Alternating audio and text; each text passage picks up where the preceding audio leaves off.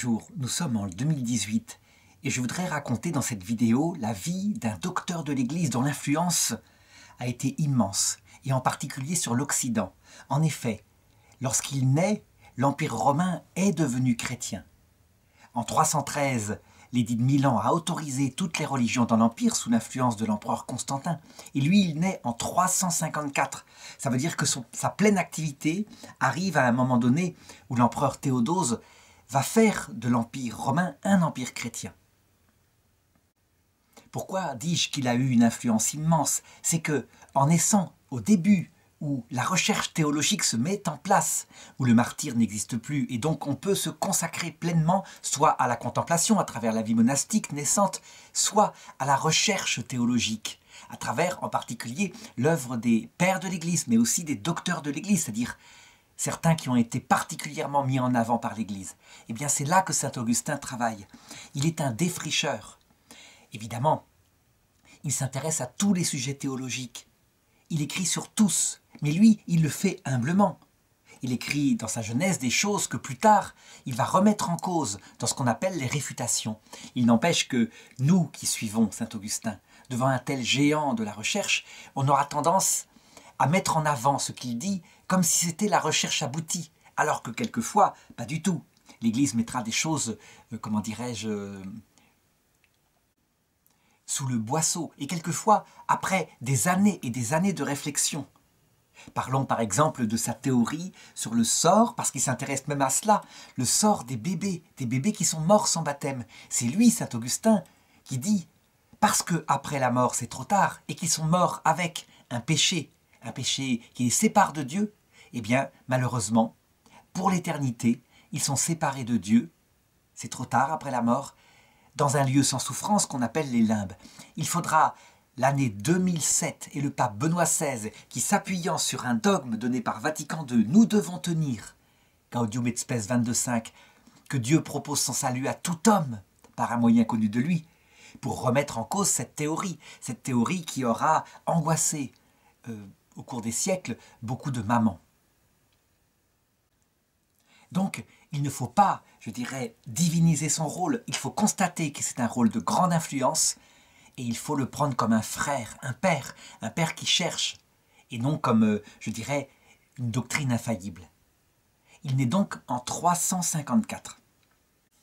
Et il faut bien se rendre compte qu'il naît dans une terre chrétienne, une terre chrétienne qui se trouve en Algérie. L'Algérie est une terre chrétienne, c'est une partie de l'Empire romain, et on peut dire que dans ces lieux-là, l'Orient chrétien, c'est là que se sont réunis tous les premiers conciles.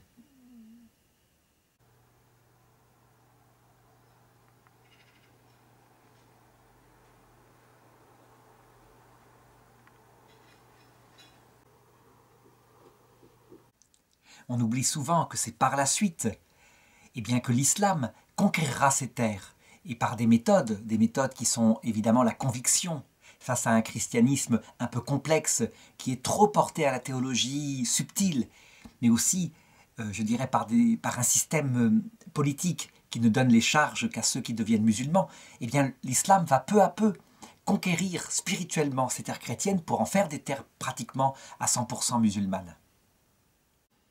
Il naît à Tagaste d'une famille romaine bourgeoise, sa maman est profondément catholique. Elle s'appelle Monique. Elle deviendra Sainte Monique. Et elle non plus n'est pas parfaite. Je dirais que sa canonisation, suite à la prière intense qu'elle fit pour la conversion de son fils, Augustin, je dirais, ne, montre, ne démontre pas qu'elle est parfaite. Et ça, c'est rassurant pour nous. Ça veut dire que, en arrivant, même avec nos péchés de l'autre côté, eh bien, on peut être sauvé véritablement je raconterai sans doute un des péchés qu'elle a fait et qui a marqué toute la vie de saint Augustin.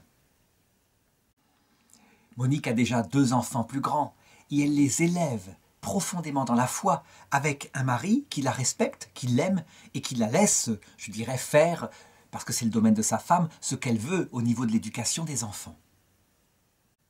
Quelque part, la famille de saint Augustin ressemblerait à une de nos familles chrétiennes actuelles, ça veut dire le père, il ne va pas à la messe, il ne croit pas à tout ça, et la mère est extrêmement fervente. La religion chrétienne, il faut le savoir, elle marque profondément les femmes, parce que c'est un Dieu d'amour, et que ça correspond à leur cœur. Les hommes parfois restent un petit peu en retrait, et ce sont leurs femmes qui, peu à peu, les amènent à réfléchir au message de Jésus. Ce qui marque Saint Augustin dans son enfance, c'est, je dirais, son extrême intelligence.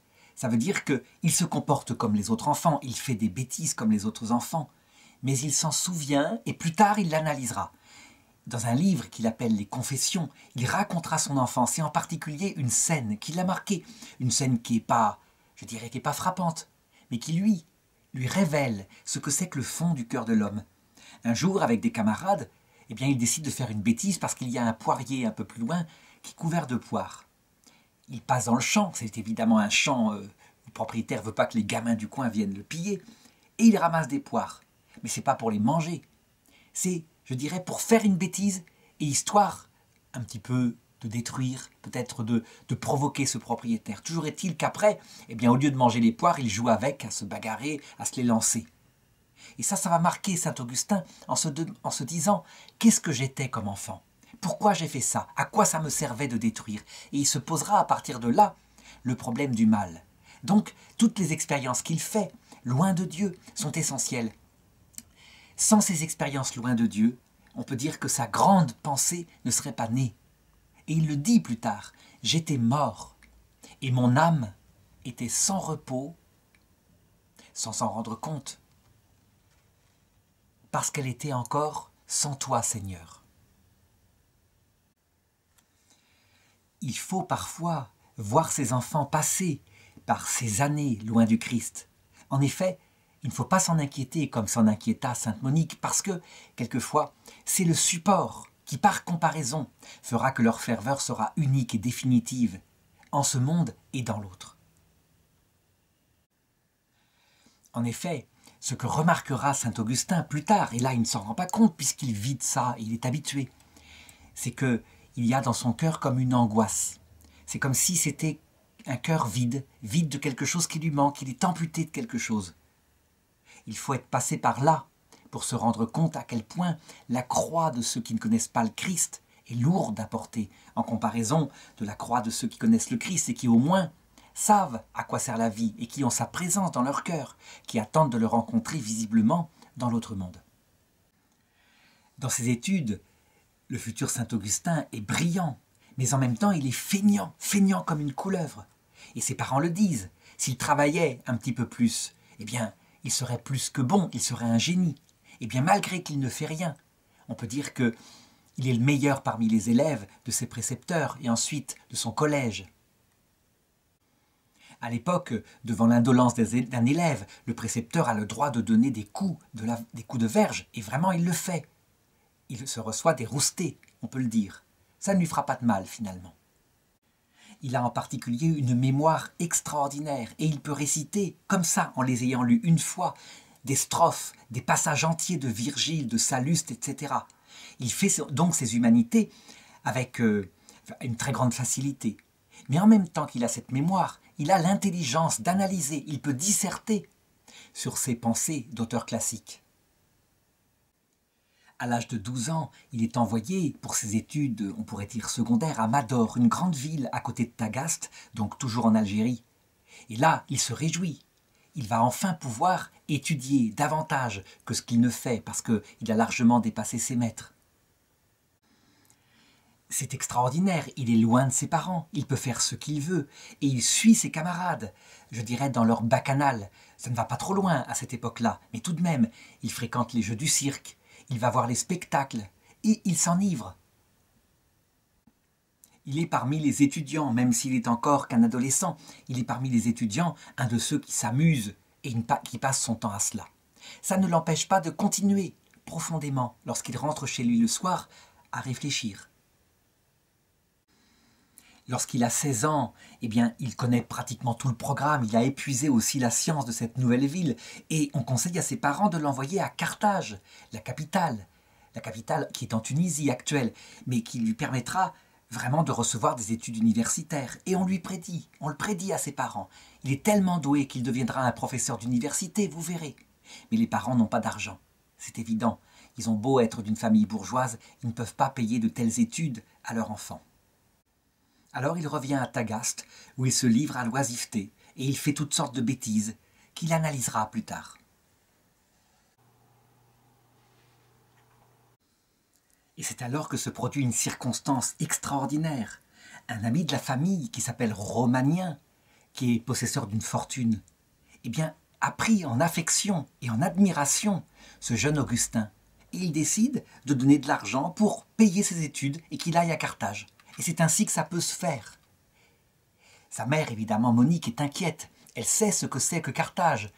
C'est la ville de tous les vices, et elle connaît son fils. Elle le sermonne donc en lui disant de faire attention en particulier aux fréquentations, à ne pas se donner à l'alcool, à des choses comme ça que pourraient donner des parents de, je dirais, de, notre époque quand un enfant part en ville universitaire.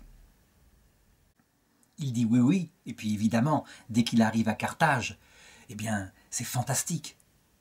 Euh, il passe son temps au spectacle, au jeu du cirque, comme d'habitude, et c'est tellement plus puissant que ce qu'il avait vu lorsqu'il était dans la petite ville. C'est à cette époque-là que son père Patrice meurt, accompagné par sa mère, qui jusqu'au bout lui a parlé du Christ. Et lui, ce païen endurci, eh bien il a fini par devenir chrétien sur l'influence de sa femme. C'est souvent comme ça.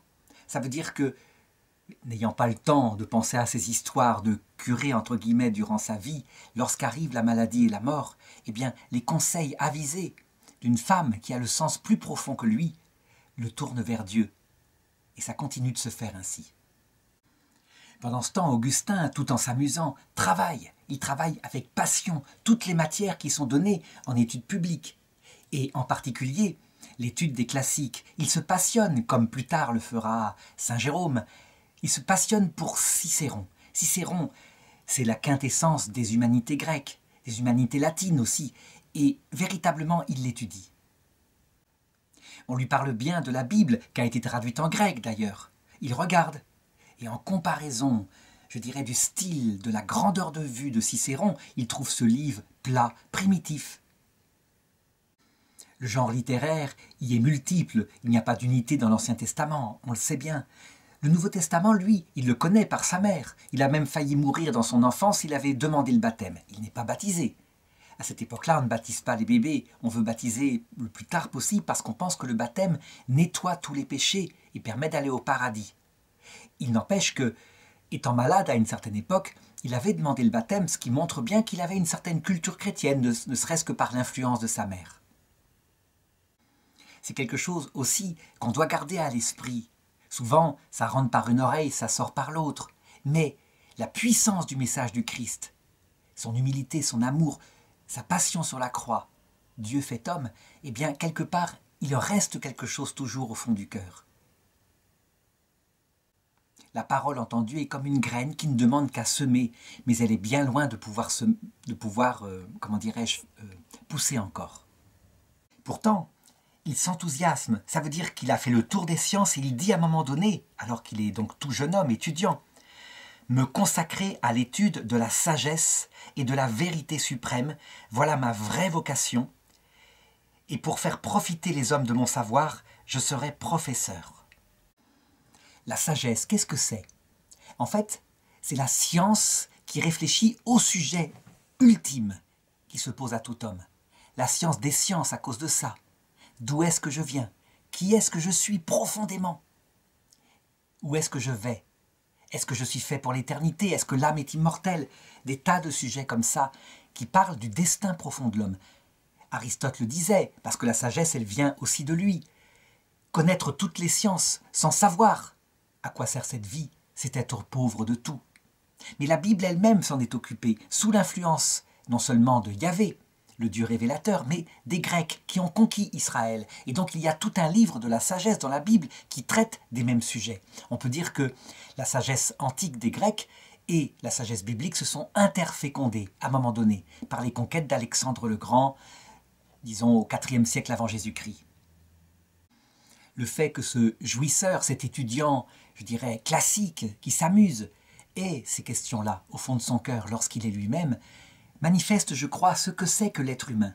Actuellement, en Occident, on a arraché ces questions comme si elles étaient d'ordre privé. Résultat, comme saint Augustin se développe une forme d'angoisse, qui grandit, qui grandit. Une angoisse, c'est-à-dire une chose qui va pas alors que tout va bien. On a de l'argent, on a tout, mais il manque la réponse à ces questions qui fera dire aux philosophes que l'homme est naturellement un être religieux. Il a besoin de répondre à cela. Eh bien, c'est à cette époque-là que Augustin va trouver la réponse. Il trouve la réponse, il pense l'avoir trouvée, à travers une sagesse qui vient de l'Orient, le manichéisme, une sagesse qui répond intelligemment, lui semble-t-il, au problème en particulier du mal. Je résume cette pensée. Au départ, il y a deux dieux, deux dieux, qui créent le monde, et ces dieux sont en compétition. L'un d'entre eux est bon, il crée les esprits, il leur donne d'atteindre la vérité, mais aussi le beau, le bien. Et l'autre est un esprit mauvais, plein de haine pour ce Dieu de la bonté. Et il crée la matière avec son obscurité. Et à un moment donné, il triomphe. Il réussit à coller les esprits créés par le Dieu bon à un corps de matière afin de les rendre esclaves, dépendants de lui. Et il les précipite sur terre.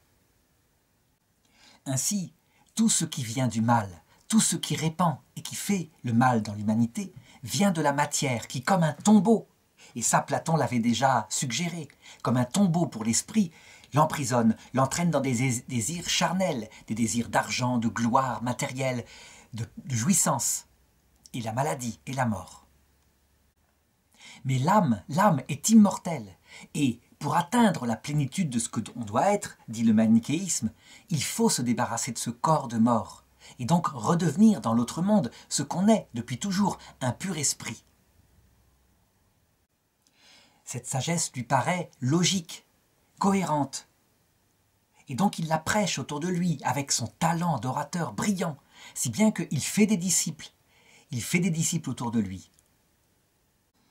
Il est très important qu'il soit passé par cette sagesse-là, ce qui la caractérise, cette sagesse-là, c'est qu'elle est très intellectuelle. Elle semble résoudre des problèmes que se pose l'intelligence. Mais il n'y a pas de présence dans le cœur. Le Dieu de, des manichéens n'est pas un Dieu personnel qui habite par sa grâce le cœur de l'homme.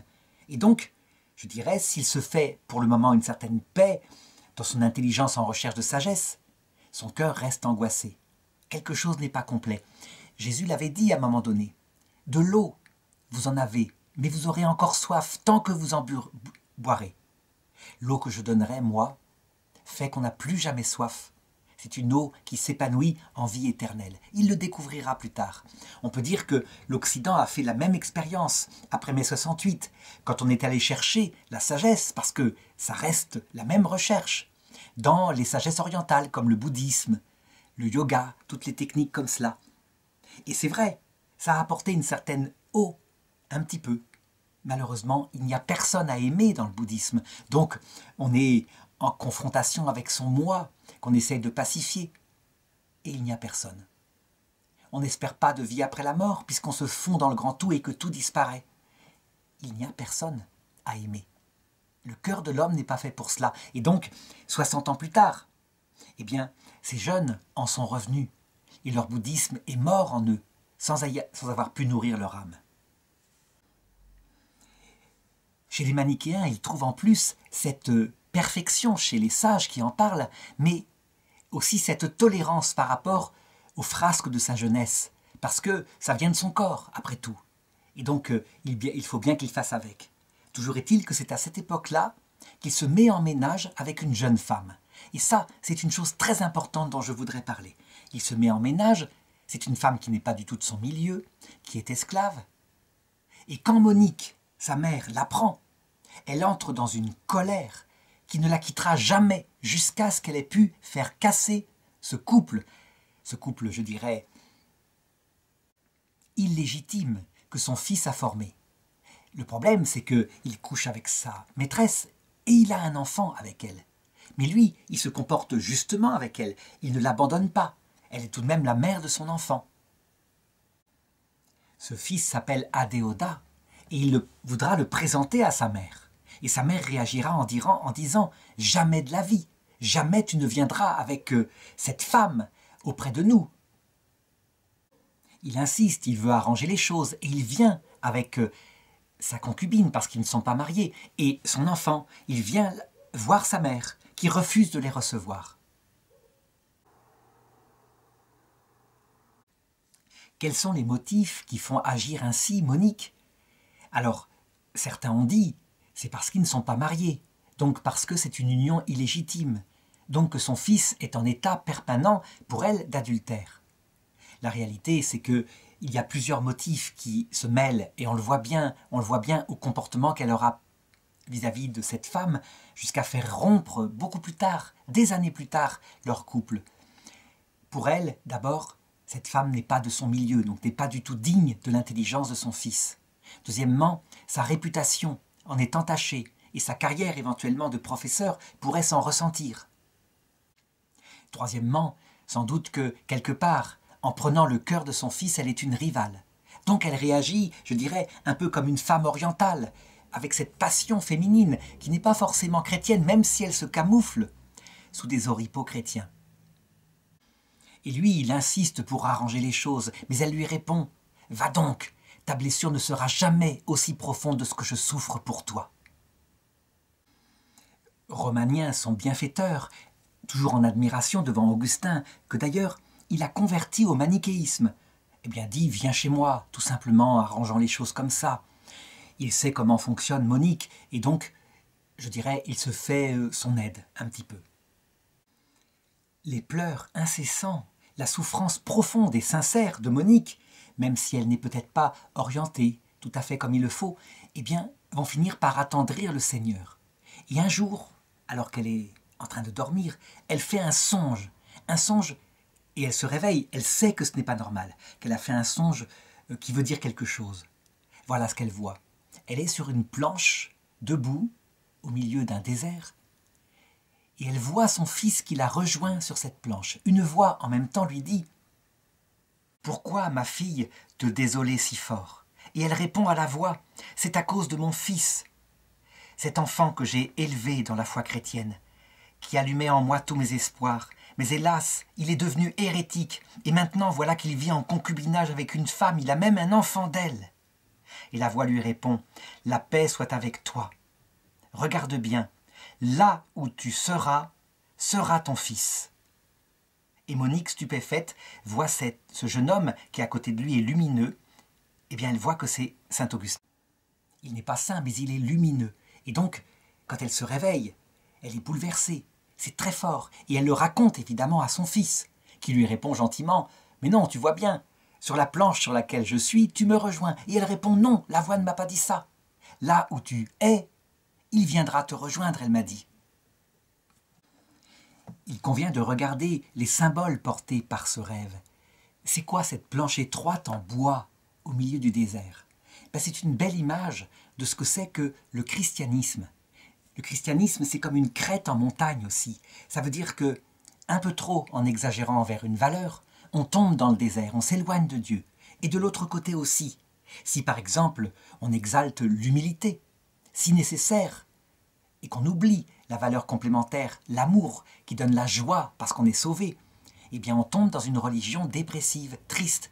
Si on exalte l'amour et qu'on oublie l'humilité, on devient quelqu'un qui fait du bien autour de soi et on peut développer un grand orgueil, une voie de crête en bois comme la croix, parce qu'elle passe par la souffrance. Mais ça, Augustin le comprendra et l'expliquera profondément plus tard. De même, ça explique la souffrance de cette mère. Cette mère, certes, elle a ses défauts, elle a ses propres attaches, mais elle souffre sincèrement, et je dirais même ses attaches humaines, qui quelquefois euh, lui enlèvent sa paix, façonnent son cœur sur cette planche, en tout cas dans l'humilité de quelqu'un qui sait ce que c'est que souffrir. Beaucoup de parents ont fait cette expérience. Ils ont des grands projets pour leurs enfants, et leurs enfants font autre chose, quelque chose qui est presque une dégradation de ces rêves qu'ils avaient pour eux. Devenus âgés, je dirais, ayant fini par assumer tout ce que leur enfant a fait, ça les fait beaucoup mûrir. Et je dirais, ils dépassent la vanité de leurs jeunes années de parents. Monique n'en est pas là. Pour elle, je dirais d'abord, c'est l'idée que son fils deviendra chrétien. C'est ça qu'elle espère. Et elle attend, maintenant, dans la foi, parce que ce rêve n'était pas un rêve, c'était un songe, elle en est sûre. Augustin, quant à lui, il prend, je dirais cela, comme des rêveries de femmes, de femmes un peu exaltées. D'ailleurs, à un moment donné, il en a la preuve rationnelle. Un de ses amis s'est converti au manichéisme sous son influence. Et à un moment donné, il est tombé malade, gravement. Si bien que sa famille, qui est chrétienne, désespérée, a fait venir un prêtre qui l'a baptisé alors qu'il était dans le coma. Et puis il se réveille de son coma, il ne meurt pas. Et saint Augustin, en le voyant, lui dit Tu le vois, c'est quoi cette religion qui pense que quand on est inconscient en versant un peu d'eau sur le front, on sera sauvé? C'est une superstition, ça ne va pas loin. L'ami, au contraire, a été profondément touché. Il le dit à Augustin. Sans doute qu'il s'est passé en lui, durant ce baptême, dans son coma, quelque chose, parce qu'il se met à détester le manichéisme, et quelques jours plus tard, il succombe. C'est pour saint Augustin un vrai ébranlement de son âme. Cette mort de son ami, qui redevient, qui devient chrétien juste au seuil du tombeau, lui fait dire que peut-être l'eau du manichéisme est peut-être pas nourrissante, trouble. En tout cas, il y réfléchit et il finit par s'enfuir de la maison de ses parents, enfin de la maison à côté de laquelle il était réfugié, et de retourner à Carthage, avec femme et enfants. Bien évidemment, Monique ne peut pas savoir quelle est la cause de ce départ si brusque, à savoir ce trouble métaphysique, la mort de son ami, etc. Il le racontera plus tard dans ses confessions. Elle, ce qu'elle voit, c'est qu'il est parti sans lui dire au revoir. Elle avait refusé de le recevoir, évidemment, mais maintenant elle est pleine de remords, elle est divisée en elle. Donc qu'est-ce qu'elle fait? Eh bien, elle va se confier auprès de l'évêque du lieu, en lui expliquant sa souffrance. Et l'évêque est très sage, très patient, il lui dit de s'en remettre à la Providence, que ce rêve qu'elle a fait signifie quelque chose, qu'il se réalisera au moment voulu, qu'elle ait confiance en Dieu, et sa douleur diminuera. Augustin va rester huit années à Carthage, avec sa concubine, dont on ne connaît même pas le nom, ce qui indique quelque chose, que cette personne qui a été si importante dans la vie d'Augustin, futur docteur de l'Église, eh bien n'est pas nommée. Toujours est-il qu'elle s'occupe de tout son cœur de leur enfant. Elle le fait avec modestie, au point qu'on pourrait lui donner le nom de Modesta. Et cet enfant est intelligent. Saint Augustin, lui, il est tout à sa carrière extérieure. Ça veut dire qu'il aime briller, il aime pratiquer des concours d'éloquence. D'ailleurs, il, il gagne le premier prix d'un concours qui a lieu à Carthage. Et il convertit au manichéisme des tas de gens. Seulement, le foyer malheureusement n'en vit pas, il tire le diable par la queue, si bien que Modesta, la concubine d'Augustin, on peut le dire, elle a beaucoup de courage à gérer ce foyer si pauvre. Augustin, quant à lui, continue de s'intéresser à tout, et sa nouvelle marotte, c'est l'astrologie. Il a étudié, il a regardé, et il a constaté qu'il y avait vraiment parfois des prédictions extraordinaires avec l'astrologie, des choses qui collaient avec la réalité des choses. Donc il se dit, peut-être qu'il y a dans les astres quelque chose qui est marqué et qui indique notre destin. Il en parle parce qu'il fréquente les cercles les plus hauts de la société cultivée de l'époque, et en particulier avec un certain proconsul, qui lui dit que lui aussi a beaucoup pratiqué l'astrologie jadis, mais que, en regardant de plus près, il s'est rendu compte que ses prédictions, c'était uniquement le hasard. Ça marchait une fois sur deux, et donc ce n'était pas du tout intéressant.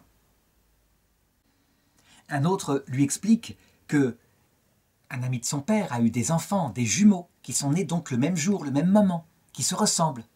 Et l'un est devenu euh, un notable très très en vol, tandis que l'autre est devenu un clochard dans la misère. Donc que l'astrologie, manifestement, ça ne marche pas. Donc ça le fait douter. C'est vrai, ce sont des faits tout de même cela. Et puis, il constate que le comportement des sages manichéens qu'il admirait pour leur intelligence, leur logique, le comportement s'use. Avec le temps, ils deviennent intéressés par l'argent. Je dirais, leur euh, grande sagesse disparaît dans les aléas de la vie. Il est d'autant plus déçu quand il rencontre un des grands évêques manichéens qui s'appelle Faust et il arrive à discuter avec lui. Il lui pose des questions sur l'écriture sainte. Et lui lui répond simplement qu'il ne l'a jamais lu.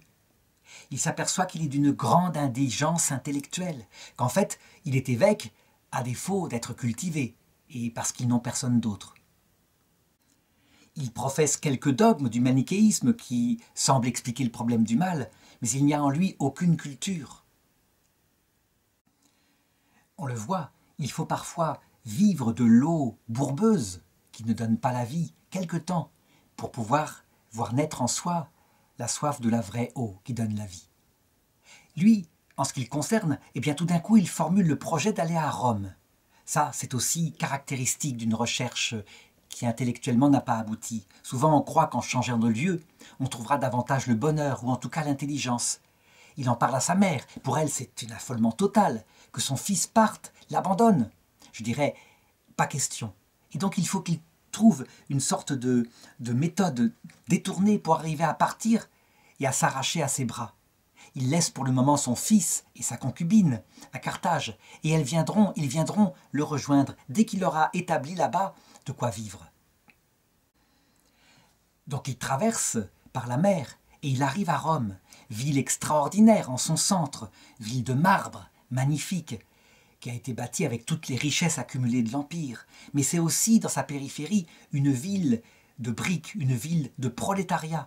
Ça veut dire des maisons extrêmement serrées, des étages auxquels on n'accède que par des échelles. Parce que, évidemment, si quelqu'un ne paye pas son loyer, le propriétaire enlève l'échelle. Et c'est ainsi que l'autre est bien obligé de changer de logement. Et bien de plus en plus, il comprend que cette ville de Rome, tellement contrastée, est un peu à l'image de l'âme humaine. Une façade très belle, avec des marbres magnifiques, une culture brillante qu'on étale, et à l'intérieur souvent misère, mais aussi vice. Et il le constate d'ailleurs avec un de ses amis, un de ses disciples les plus brillants, convertis au manichéisme, qui assiste pour la première fois au jeu du cirque à Rome, et qui ne veut surtout pas regarder. Pour lui, c'est polluer son âme que de regarder des choses comme cela, et il l'a toujours professé. Seulement, devant l'acclamation des gens, il finit par s'enlever les mains, ouvrir les yeux, regarder, et il entre dans une passion totale pour les jeux du cirque. Donc pour lui, l'âme humaine, elle n'est pas stable, et il le constate. La moindre tentation la fait tomber dans les choses qu'elle peut, par son esprit, mépriser. Il le constate lui-même dans sa propre vie d'ailleurs. Donc la question se pose, d'où vient cette double nature en nous, cette loi qui conduit à des choses charnelles et primitives, et cette autre loi présente dans l'esprit qui élève vers la recherche du bien, du vrai? Saint Paul y a répondu, évidemment, mais lui, il en est encore à se poser cette question. Et Saint Augustin traîne comme ça plusieurs mois à Rome, je dirais s'initiant à de nouveaux philosophes qu'il ne connaissait pas tellement, comme Épicure. Épicure, ce philosophe du plaisir, parce que tant qu'on est vivant, il faut profiter de la vie, c'est la seule chose qui reste à faire, et ne pas, évidemment, se donner à n'importe quel plaisir qui détruirait la propre vie. Mais Épicure est un athée. Il n'a pas je dirais, il n'a pas de réponse à la sagesse si ce n'est que nous venons de la matière. Il discute beaucoup avec les cercles cultivés et un jour il frappe l'esprit d'un certain Simac, un haut fonctionnaire, qui lui dit, devant son éloquence, alors qu'il lui a demandé d'improviser un discours comme ça, qui lui dit qu'il faut qu'il aille à Milan, que son frère y est évêque, il s'appelle Ambroise de Milan, et que il pourra obtenir un, poste de professeur d'université sans problème, il écrit même une lettre testimoniale qui permet d'appuyer sa candidature là-bas. La cour de l'empereur s'est d'ailleurs installée à Milan. C'est formidable. Enfin une perspective d'avenir. Il a un poste. Et donc il écrit à sa concubine, Modesta, et à son fils de venir le rejoindre. Et eux s'embarquent dans un bateau. Il a entendu parler aussi à Milan, alors qu'il enseigne déjà à l'université, de cet Ambroise qui prêche à la cathédrale, et il y va et il est passionné. Cet évêque sait faire sortir de ce texte en apparence peu éloquent de la Bible des sens auxquels il n'a pas du tout pensé, des sens profonds, spirituels. Ça le frappe. Il est stupéfait aussi de l'intelligence qu'a cet évêque et qu'il transmet aux Écritures. Donc il décide de le rencontrer, il s'approche de lui. Et l'entretien va profondément le décevoir. L'évêque a entendu parler de lui, et il lui dit ceci Il paraît que vous cherchez beaucoup, vous cherchez beaucoup la vérité. Oui, répond Augustin, je cherche beaucoup la vérité. Eh bien, l'évêque lui répond simplement Allez, allez, et priez. Et il le congédie. Augustin est humilié. Comment est-ce que on a pu lui parler comme ça? Quelques mots, il est tout de même professeur d'université. Il est connu, il s'attendait à ce que cet évêque, intellectuel comme lui, s'entretienne de choses plus profondes. En réalité, ce qu'il ne sait pas, c'est que sans doute poussé par l'Esprit Saint, l'évêque, lui, en ce qui le concerne, a simplement dit ça parce qu'il est sans doute trop débordé, il reçoit trop de monde. Et peut-être qu'il parle davantage aux pauvres qu'aux personnes en vue. Toujours est-il que tout est dit dans ces paroles-là. Allez et priez. Parce que la vraie découverte du Christ, c'est pas par l'intelligence seulement, même si c'est important, il va combler son intelligence, mais c'est une rencontre personnelle avec quelqu'un, la personne du Christ qui vient habiter dans le cœur. Et ça, Augustin ne le sait pas encore. Il retourne donc à l'université où il est de plus en plus connu, et dans les cercles mondains. Il fait un discours pour un général romain qui vient de rencontrer remporter une brillante victoire militaire aux frontières de l'Empire. Voilà ses occupations. Et en même temps, les païens, les manichéens nourrissent de moins en moins son âme. Il est là, je dirais, pleinement homme, adulte, et sa vie intellectuelle n'a plus de sens. Monique, quant à elle, est restée à Tagaste, où elle, elle vit de la prière, de l'inquiétude pour son fils. Quand elle reçoit une lettre de lui qui lui indique qu'il a une situation stable, ça y est, il est professeur, nommé. Et donc elle se dit, formidable, moi je suis veuve ici, mes grands-enfants sont partis, je vais le rejoindre, je vais établir mon foyer auprès de lui je pourrai l'aider dans ces circonstances. Et donc elle s'embarque sur un bateau. Ils sont pris d'ailleurs par une tempête. Les gens sont affolés, ils pensent que le naufrage est inévitable, mais elle, elle reste confiante et stable, ce qui est vraiment étonnant, qui indique sans doute une évolution en elle, elle qui était, je dirais, si paniquée de voir son fils vivre dans la tempête intérieure. Elle arrive à Milan, et là, elle s'installe chez Augustin.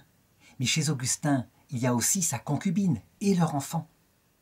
Et ça va être, je dirais, une vie commune très difficile. Ça veut dire que pour elle, cette femme, Modesta, reste une mésalliance.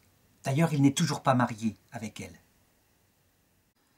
La vie commune est difficile et il y a des scènes entre ces deux femmes, entre l'épouse illégitime, on pourrait dire, qui tout de même n'est plus chez elle avec euh, cette belle-mère, qui quelque part la snob, la méprise, parce qu'elle n'est que de condition modeste.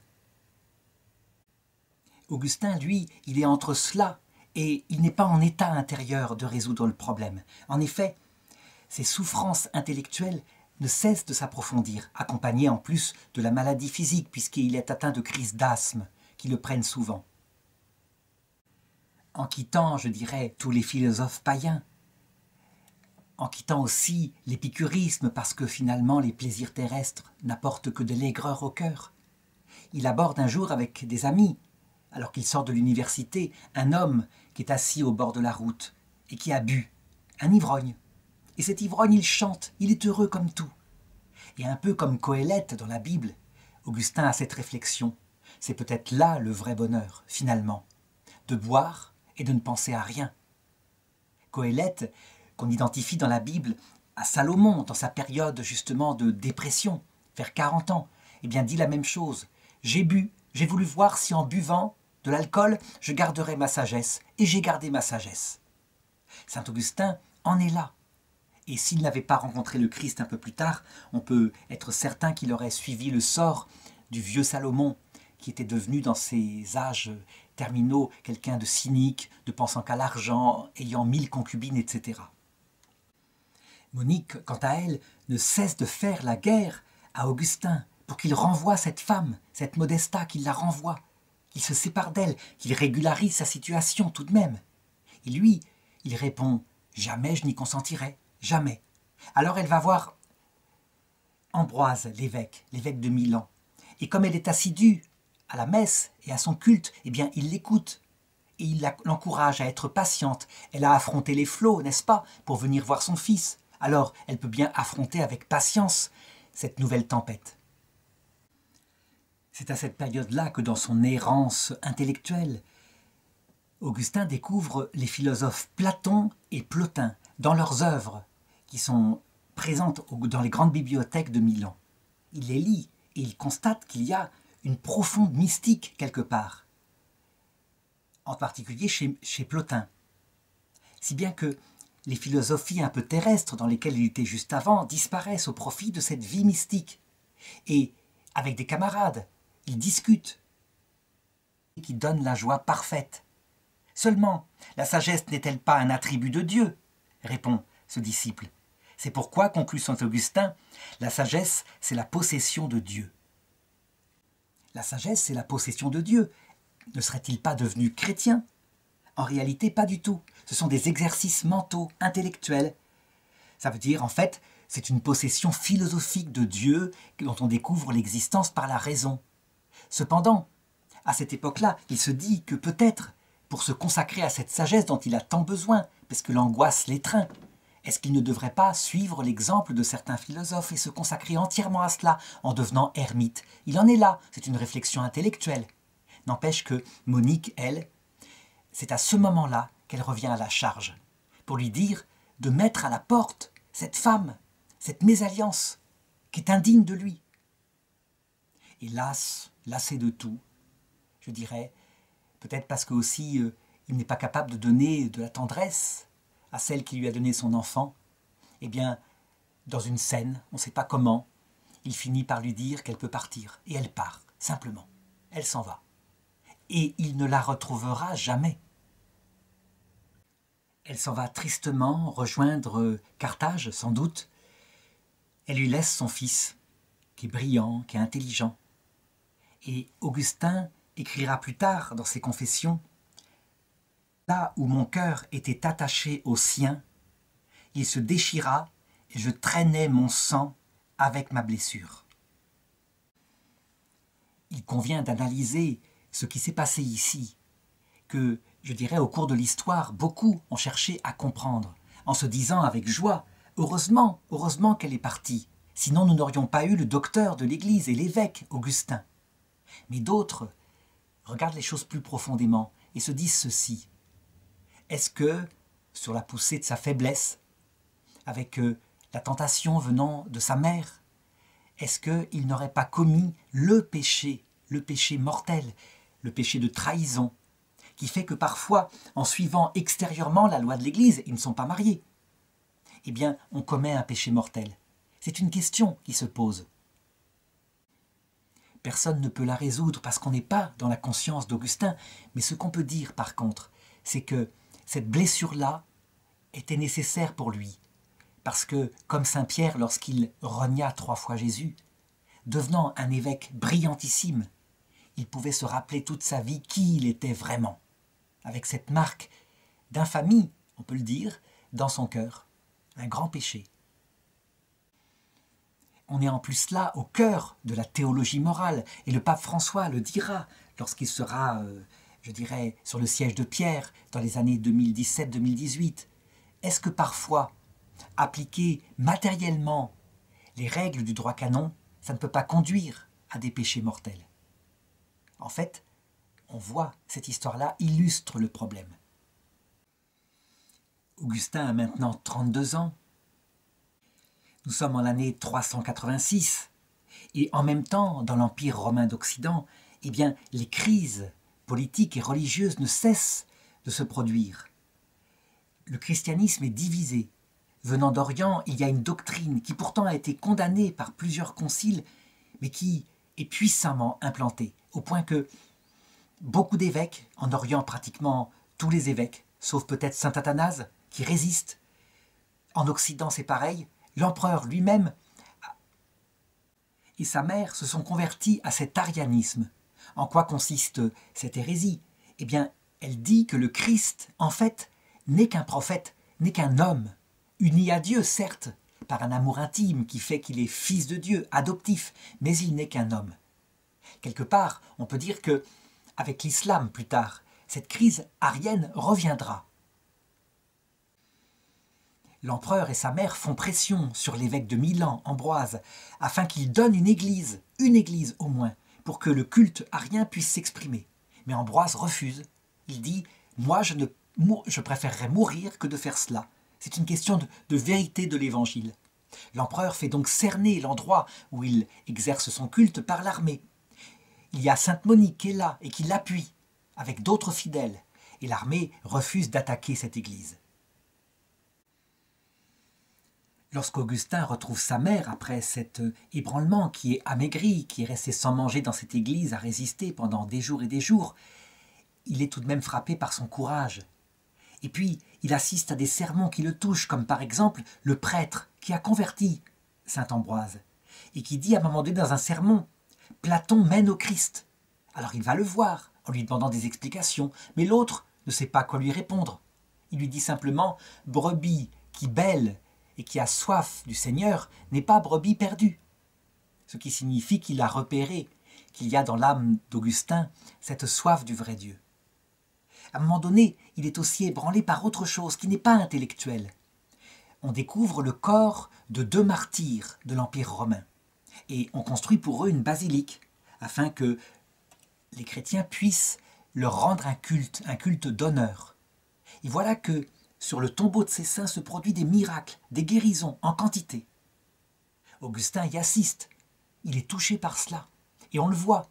Ce n'est plus cette fois un débat intellectuel, c'est quelque chose d'autre. Il semble y avoir une force qui agit, une personne qui agit à travers la présence de ces corps.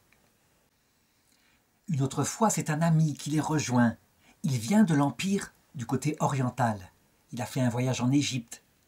Il les trouve en pleine discussion intellectuelle, comme d'habitude, sur Platon, sur les évangiles comparés, etc. Et cet ami lui dit Mais est-ce que tu as entendu parler d'Antoine du désert? Antoine du désert, c'est qui ça? Antoine du désert, c'est un moine qui s'est retiré comme ermite, qui vit dans les montagnes. Et les miracles se multiplient autour de sa présence. Il semble habité par une présence, la présence du Christ, pour qui il consacre tout. Il a renoncé à tous les biens de la terre. Il se nourrit de miel et de sauterelles, comme Jean-Baptiste. Mais en étant privé de tous les biens pendant un temps où il a manqué de tout, où il était tenté de quitter son ermitage, eh bien, l'Esprit Saint est venu habiter en lui et nourrit complètement son âme, qui a trouvé la paix. L'Esprit Saint, l'Esprit Saint, dit saint Augustin, c'est quoi l'Esprit Saint? Cet ami, venu de l'extrême de l'Empire ponticien, les quitte. Et alors Augustin est comme changé. Avec ce disciple dont il parlait juste avant, de théorie intellectuelle, il se met à converser en disant C'est étonnant, il a tout quitté, il n'a plus rien qui nourrit sa chair, et il a trouvé le bonheur en consacrant tout à Dieu. Lui, il n'a même pas de connaissance, cet Antoine du désert, et pourtant il semble avoir trouvé l'essentiel. Et nous, avec notre connaissance de tout, notre culture si géniale, nous sommes adonnés aux choses de la chair, tellement nous ne trouvons pas d'épanouissement pour nos âmes. Il est bouleversé, en fait. Et très vite, il quitte son ami et son disciple, et il se retrouve seul dans le jardin, où enfin il tombe en larmes il crie vers cette force, cet Esprit Saint, cette présence auquel il ne croit pas vraiment, n'a jamais expérimenté. Il supplie qu'il y ait une réponse. Et c'est alors qu'il entend une voix, très nettement, qui lui dit Prends et lis. Alors il s'interroge C'est quoi cette voix? Il leur demande Qu'est-ce qu'il y a? Il se dit que c'est sans doute une voix qui vient de la maison, et et voilà, il se remet en prière, toujours avec cette émotion dans le cœur, quand il entend de nouveau cette voix, qui est forte, qui est à la fois de l'intérieur de lui-même, mais aussi qu'il entend de l'extérieur. Prends et lis. Prends et lis. Il a bien entendu. Alors, comment expliquer ce phénomène? On peut dire que le feu intérieur qui le fait pleurer, c'est l'attraction du Saint-Esprit, ce que saint Thomas d'Aquin appellera plus tard la prémotion divine, c'est-à-dire cette attraction de Dieu qui attire le cœur de quelqu'un qui ne le connaît pas encore, qui depuis des années l'angoisse en fait, et dont il dira plus tard dans ses confessions, avant même de t'aimer, Seigneur, je t'aimais. Pardon. La phrase exacte, c'est avant même de te connaître, Seigneur, je t'aimais, et je l'ignorais et mon âme était sans repos tant qu'elle ne se reposait pas en toi. Quant à cette voix extérieure qu'il a entendue, on peut l'attribuer à ceux qui collaborent au travail de Dieu, les anges gardiens, certainement, qui sont là et qui, je dirais, lui donnent les signes qu'il lui faut au moment où il faut. Toujours est-il que, éperdu, il retourne dans sa maison. Il y a sur la table encore la Bible ouverte et les épîtres de Saint Paul, et donc il ouvre au hasard. Et il tombe sur ce passage-là. Ne vivez pas dans les festins, dans les débauches, ni dans l'impureté, ni dans un esprit de querelle et de jalousie, mais revêtez-vous de notre Seigneur Jésus-Christ. Il est bouleversé. Ça correspond exactement à ce dont il a besoin à ce moment-là. Son disciple, qui était sorti quelque temps, le rejoint et il lit la suite du texte. Aidez et soutenez celui qui est faible dans sa foi. Lorsqu'on les lit comme ça, à quelqu'un qui écoute cette vidéo, on se dit, ben, pourquoi cette parole, je dirais, anodine finalement, a-t-elle un tel pouvoir sur Saint Augustin? En réalité, d'abord elle arrive au bon moment, c'est exactement au cœur de sa recherche, il se livre à la débauche, ça ne nourrit pas son âme, il recherche la vérité, il sent que c'est une personne qui l'attire, il, a l'âme en feu, et tout d'un coup, cette personne lui parle à travers ce texte, ça correspond exactement à ce qu'il est. On appelle cela un signe. L'Esprit Saint, c'est son cœur en feu. Le prodige, c'est cette voix qui lui a parlé. Et le signe, c'est cette parole qui correspond tirée au hasard et qui brûle son âme au bon moment. Toujours est-il qu'il part avec son disciple voir Monique et il leur raconte tout ça. Et Monique, elle, elle comprend tout de suite, elle le connaît, elle est chrétienne depuis longtemps, elle sait que ça vient du Seigneur. Donc elle tombe dans ses bras et elle lui dit C'est un appel du Seigneur, tu n'as plus qu'à suivre sa voix. Et Augustin de répondre Oui, mère, maintenant, je suis chrétien.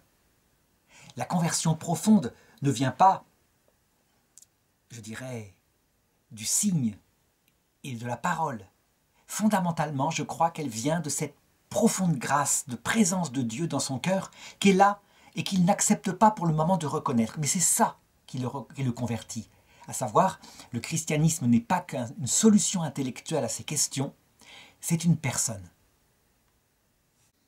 À partir de ce jour-là, tout est changé. C'est une naissance nouvelle, il le dira plus tard. C'est comme si avant il était mort et tout d'un coup il est vivant. Tout simplement parce que, avec la personne du Christ qui maintenant habite dans son âme et à qui il se donne, il l'a reconnu, c'est lui qui lui parlait, c'est lui qui mettait son cœur en feu. Et bien tout d'un coup, toutes les réponses sont là. Sa question sur l'éternité de l'âme, sur la vie éternelle, sur le sens de cette vie, qui est une étape, un purgatoire finalement, tout lui vient logiquement. Il fallait juste qu'il rencontre la personne du Christ. Il se retire quelque temps avec sa mère et quelques amis dans une villa magnifique, dans la campagne romaine. Et là, il réfléchit, il continue de commenter les auteurs grecs, il ne se détache pas du tout de la culture latine non plus. Mais en même temps, l'après-midi, il étudie, appuyé sur cette culture, la parole de Dieu. Monique, sa mère, est là, qui participe à leur débat. Elle n'a certes pas du tout sa formation intellectuelle, mais elle a cette fréquentation de Dieu qui fait que ses réponses sont toujours de bon sens et qu'il le remet dans la voie dès qu'il part dans une considération trop intellectuelle. Heureux es-tu, avait dit Jésus en parlant au Père, car tu as caché tout cela aux sages et aux intelligents, et tu l'as révélé aux tout petits. Il rédige aussi, durant cette retraite bienheureuse, plusieurs livres, dont les Soliloques, La vie bienheureuse, et il dit ceci, sorti de son désespoir évidemment. Le désir de vie heureuse est commun à tous les hommes, bons ou mauvais. Mais le bonheur, le vrai bonheur, est de voir et d'aimer Dieu. Et plus loin il dit Accordez-moi d'abord de bien vous prier, ensuite faites que je sois digne d'être exaucé, et enfin accordez-moi d'être délivré. En lisant ce texte, on pourrait se dire, mais il écrit la même chose qu'avant. Il écrivait cela aussi à l'époque où il lisait Platon Plotin. C'est pas du tout la même chose. Avant, connaître Dieu, c'était un Dieu intellectuel, un Dieu des philosophes, qui est le même, certes, mais dont le cœur n'est pas connu. Maintenant, c'est Dieu connu de l'intérieur par sa vie intime, trinitaire, et vécu dans le ciel qu'est l'intérieur du cœur. Ça change tout. C'est certes le même Dieu que le Dieu des philosophes, celui qui a organisé l'univers, mais il est connu cette fois comme un ami. Le 25 avril 387, Augustin a 33 ans, eh bien, il reçoit le baptême de la main même de saint Ambroise de Milan, son évêque. Il le reçoit en compagnie de sa mère et son fils qui est là, Adéoda, qui est promis à un grand avenir intellectuel, du moins, dit saint Augustin, si ce n'est pas son amour paternel qui le trompe, tellement il est brillant. Il reçoit la grâce du baptême et sa mère lui rappelle ce rêve qu'elle avait fait quelques années plus tôt. Là où tu es, il viendra, il sera. Effectivement, là où elle était avec le Christ, il la rejoint. Ce n'était donc pas un rêve de son imagination, mais véritablement une annonce venant de l'Esprit Saint et visant à la consoler, à la faire patienter dans ses prières multiples. Le baptême une fois reçu, les amis étant dispersés, eh bien, Augustin se dit, avec sa mère, qu'il serait sans doute bon de retourner dans leur chère patrie, en Afrique. Que maintenant, je dirais, les mondanités de Milan, de Rome, etc., c'est tellement peu important par rapport à cette découverte du Christ. Et là, il pourra se consacrer entièrement à Dieu par la prière. Donc il décide de quitter Milan et de se rendre vers Ostie, le port, le port qui permet de s'embarquer pour l'Afrique. Un soir, alors qu'ils attendent l'embarquement, que le soleil se couche et que la paix est là dans le temps, il parle avec sa mère. Il reste à parler longtemps dans la soirée. Et de parole en parole, ils en viennent à évoquer ce qui a fait leur désir à eux deux, l'aspiration au ciel, voir Dieu, cette sagesse ultime qui est le but de toute leur vie. Et à un moment donné, après s'être longuement entretenu, leur âme entre comme en communion totale, spirituelle, plus seulement comme sur la terre, pour des raisons charnelles, mère-fils, mais vraiment une commune communion, on pourrait dire ça, d'amour envers le Père, le Fils et le Saint-Esprit. Monique sort bouleversée de cet entretien et elle dit Maintenant, je peux mourir, je peux partir. Quelque temps plus tard, cinq jours plus tard, elle tombe malade et elle sent que, effectivement, elle va partir. Elle le dit à Augustin et aussi à un autre de ses fils qui est là, qui les a rejoints. Elle leur dit qu'il faut qu'ils l'enterrent ici, sur cette terre. Et eux sont surpris et disent Mais non, rentrez au moins dans votre terre natale. Et elle dit Non, non, non, mettez mon corps où vous pourrez, mais souvenez-vous toujours de moi dans vos prières quand vous serez au pied de l'autel.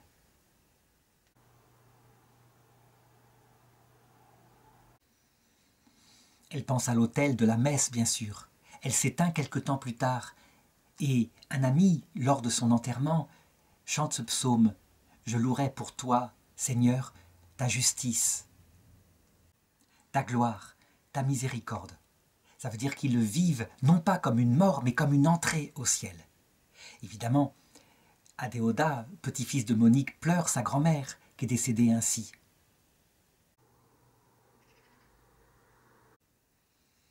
il pleurera sa mère. On peut dire que tous les souvenirs de ce qu'elle lui avait dit, elle qui l'appelait son bon fils, lui restera toute sa vie. Des événements politiques, finalement, bloquent le port d'Ostie. Un général romain est révolté contre le pouvoir central, si bien que le retour en Afrique se fera plus tard. Il reste quelque temps encore en Italie, peut-être un an, et ça lui permet d'étudier la vie monastique qui s'est développée déjà dans ce pays. Il pense ainsi avec cette expérience, eh qu'il pourra fonder un ermitage avec davantage d'intelligence lorsqu'il reviendra dans son pays. On est donc en 389, il a 35 ans lorsqu'il met les pieds de nouveau en Algérie. Il possède quelques terres qui lui sont venues de sa mère, et sur ce lieu, je dirais magnifique, il y installe son monastère laïque, avec son fils, avec des amis. Un monastère laïque, ça veut dire que il n'est pas astreint à une règle d'ascèse comme saint Antoine du désert. Il se livre au contraire à l'étude. Il pense que c'est par le fait qu'il écrit des livres qu'il pourra répandre davantage la vérité autour de lui. Il écrit en particulier un livre sur le manichéisme qu'il connaît bien puisqu'il y a adhéré pendant neuf ans. et il montre comment c'est une voie sans issue. Toute la culture qu'il a reçue des, je dirais, des humanités grecques et latines lui servent. Il ne reste pas uniquement fixé sur des commentaires de l'écriture. Par exemple, vitalisé par la venue de Jésus-Christ dans son cœur, il écrit un gros traité sur la musique. Donc il reste ce qu'il est fondamentalement, un être cultivé. C'est ainsi qu'on peut, toutes les richesses qu'on a reçues et qui prédisposent, qui préparent à la venue du Christ, les richesses venant des païens, elles-mêmes, on peut les mettre au service du Seigneur. C'est quelque chose qui caractérisera Saint Augustin, et on peut le dire aussi, toute la pensée chrétienne occidentale. Foi, raison, mais aussi art, tout, tout peut être mis au service du Seigneur. Et rien de ce qui était œuvre morte avant n'est mort, mais tout peut être vitalisé par la présence du Christ. Il en témoigne. On peut dire que la, magnifique floraison de l'Occident, je dirais à l'époque euh, où la méthode expérimentale sera inventée, vient de là, vient de cette harmonie entre foi d'un côté et raison de l'autre, qui marchent ensemble, disait saint François de Sales, comme deux affectionnés. Mais il écrit aussi de la théologie. 83 questions sont abordées dans un de ses livres, des questions portant sur la théologie. Et il y répond.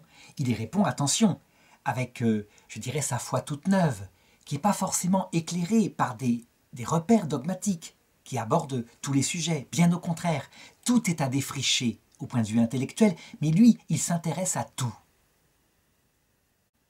On peut dire que dans ce petit ermitage laïque va commencer à naître ce qu'on va appeler plus tard la scolastique. Ça veut dire l'école, l'enseignement classique occidental. C'est quelque chose qu'il faut comparer à ce qui s'est passé dans l'islam beaucoup plus tard. L'islam a fait le chemin inverse à peu près à l'époque d'Avicenne et d'Averroès, en disant que la raison philosophique nuit à la lecture du Coran, qui est une parole dictée par Dieu et que nul ne saurait critiquer. Si bien que, à partir de ce Moyen Âge qui, en Occident, voit arriver non seulement la pensée de saint Augustin, mais celle d'Aristote, donc toute cette antiquité grecque, au même moment, en Orient, devenu musulman, on se sépare des apports de la raison, si bien que les courbes de ces deux civilisations se croisent L'une descend, l'autre monte. À cette période-là, alors que tout semble bien aller pour lui, il est frappé d'un deuil cruel. Son fils Adéoda, qui a 15 ans, tombe malade et meurt. Et c'est ainsi qu'il devient un sans-famille, quelque part. Est-ce qu'il en éprouve une douleur profonde? Oui, quelque part parce qu'il était attaché à sa mère Monique, à son fils Adéoda, mais aussi à sa femme, quelque part, qu'il n'a jamais retrouvée. En même temps, il sait qu'ils sont vivants de l'autre côté de cette vie. Cette sagesse ne l'abandonne pas et fait que sa douleur paisible. Il vit avec eux dans la prière. Il se rend souvent à l'église où il assiste à des baptêmes et son, son zèle apostolique, son idée de, de communiquer cette grâce qu'il a reçue à d'autres, lui prend profondément le cœur. C'est à ce moment-là que la Providence eh bien, va faire aboutir ce désir. En effet, il reçoit la lettre d'un homme qui habite dans une ville, une petite ville située à 80 km de Tagaste. Cette ville s'appelle Hippone. Il demande à ce que Augustin puisse venir quelque temps afin de prêcher, afin de répondre à des questions théologiques que se pose son âme. Et il accepte aussitôt. C'est quelque chose qui l'intéresse, il aime beaucoup le débat et il aime beaucoup instruire. Il arrive à Hippone quelque temps plus tard pour ce qu'il croit être un séjour de quelques semaines. Il y restera 40 ans. Voilà que, en même temps, il assiste à l'office, il y a là l'évêque qui vient prêcher et qui dit ceci Je me fais vieux maintenant, j'ai du mal à assumer ma charge. Il me faudrait des aides, il me faudrait un prêtre, plusieurs prêtres, qui puissent m'accompagner dans ma charge. Les fidèles qui sont là entendent cette parole de l'évêque. Ils voient bien Augustin, ils le connaissent, sa réputation s'est répandue. Et aussitôt la foule interrompt le sermon et dit Augustin, il vous faut Augustin, Augustin prêtre, Augustin prêtre, Augustin prêtre.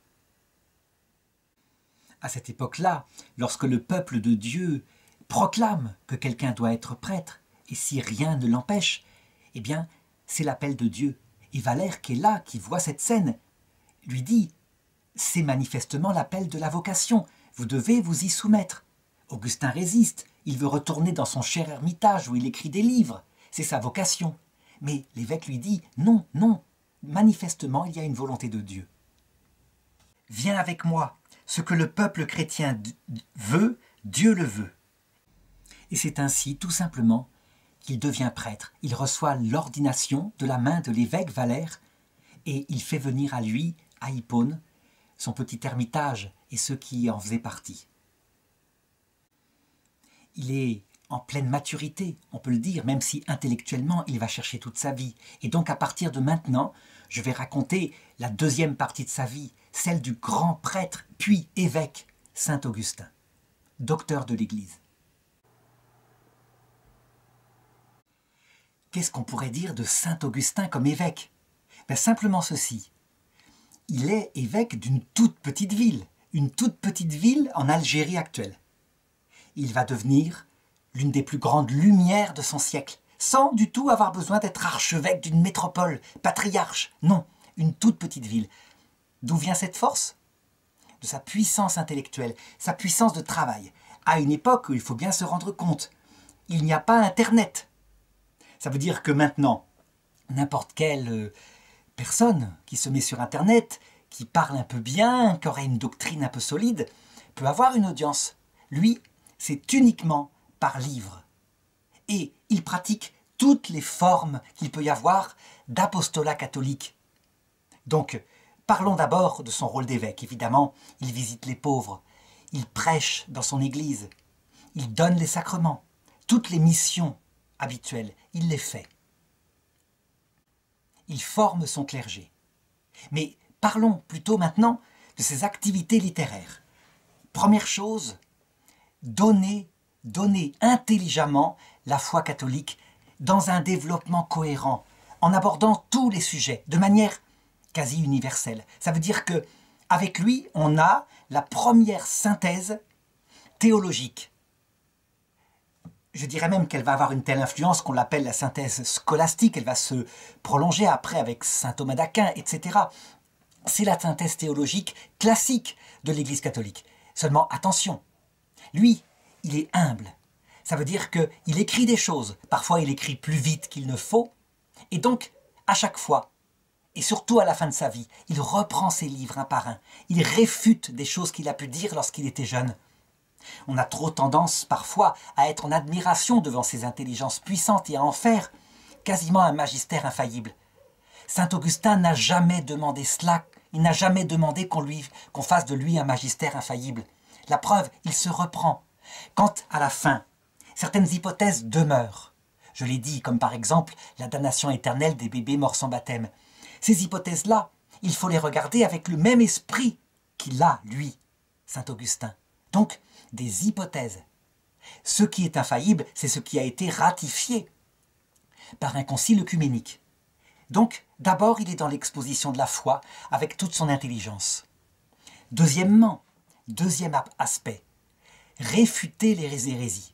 Nous sommes au IVe siècle et les hérésies se mettent à foisonner dans l'Église, de tous les côtés. Ça veut dire que, normalement, comme il n'y a justement pas de dogme fixé par les conciles, eh bien, toute hypothèse peut être défendue mordicus par n'importe quel intellectuel. Et ce qui se passe très souvent, on le remarque, c'est que un tel découvre telle présence, telle doctrine dans l'écriture, l'exalte, et du coup rejette la doctrine complémentaire. Évidemment, le premier sujet, la base, l'alpha, c'est la Trinité. Et donc l'hérésie prégnante à son époque, c'est ceux qui affirment que Jésus-Christ n'est qu'un homme, l'arianisme, je l'ai dit. Et donc il faut lutter contre elle. C'est absolument terrible. Cette hérésie, elle grandit, elle grandit. Tous ceux qui souhaitent un Christ humain, simplement humain, raisonnable, pas un Dieu éternel qui se fait homme et qui meurt sur la croix, adhèrent à cette hérésie. Et ceux qui sont attirés par la surnaturelle adhèrent à la foi définie au concile de Nicée et au concile de Constantinople. Alors, il lutte contre l'arianisme, et comment le faire? Eh bien par des écrits, évidemment, mais pas seulement. Par des débats.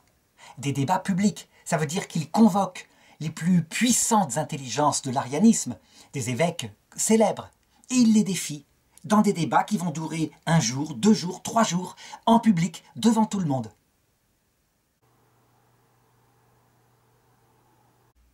Et attention, il ne mène pas ses débats n'importe comment. Premièrement, c'est vrai, l'intelligence de la foi. C'est évident, un débat intellectuel, on est intelligent. Mais pas seulement. Il a remarqué que partout à cette époque-là, les gens qui défendent avec intelligence la foi, c'est comme s'ils y mettaient leur irascible, leur, euh, je dirais, leur ego pas assumé, leur vanité. Et donc, très souvent, ça tourne en argument contre l'homme qui est en face, qui l'attaque, qui va s'attaquer à sa vie privée, qui va regarder des petites choses qu'il y aurait derrière. Et ça, il le refuse. Ça veut dire qu'il respecte son interlocuteur. Il lui parle avec humilité, en sortant évidemment la vérité. Il ne s'agit pas de la brader au nom de l'amour, pas du tout. En lui marchent ensemble amour et vérité comme deux affectionnés. C'est la caractéristique du chrétien. Évidemment, il est brillant intellectuellement. Donc ça, c'est quelque chose. Affronter Saint Augustin dans un débat public, c'est évidemment un défi terrible à relever. Une autre hérésie grave, c'est le donatisme. Le donatisme, c'est quelque chose qui est comme une plaie ouverte dans l'Église suite à la sortie de l'époque des martyrs. Donc je raconte un petit peu ce qui s'est passé. À la dernière persécution, au début du IVe siècle, par Dioclétien, ça a été terrible. Ça a été la plus féroce des persécutions.